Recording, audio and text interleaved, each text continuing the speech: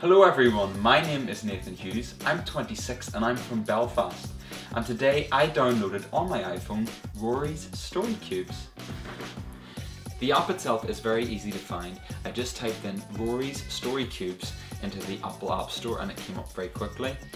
The app itself is £1.49 what I love about this app is that it's actually really easy to use. That's for young people and parents alike.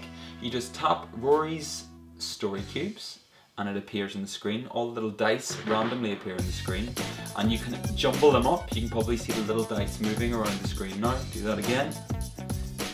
And they all fall at random.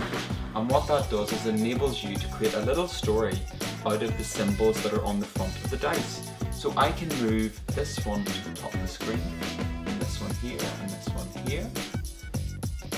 And a little story. And you can be as imaginative as you like. I actually see it as the modern day bedtime story.